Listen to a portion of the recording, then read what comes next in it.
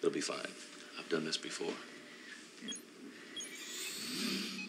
Ah, I told you. Computer. Computer, Hey, what are you looking at? run diagnostics. What, you got a broken arm or something? I got a station to run here. Computer.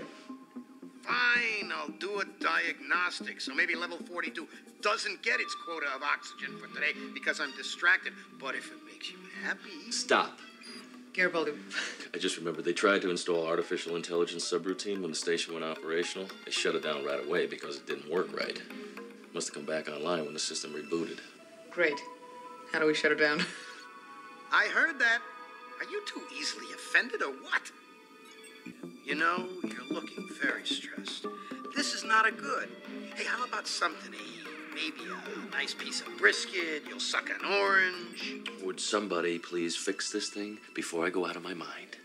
Oh, not that my bruised feelings would have any meaning for you, but why are you having these people poke me all over the place? I'm a perfectly reasonable artificial personality. Nobody's ever complained before, but I guess some people just aren't happy unless they're messing it up for everyone else. You know, you really should stand up straight. Your mother and I have been worried about this for years. We've been trying to talk to you about it, but.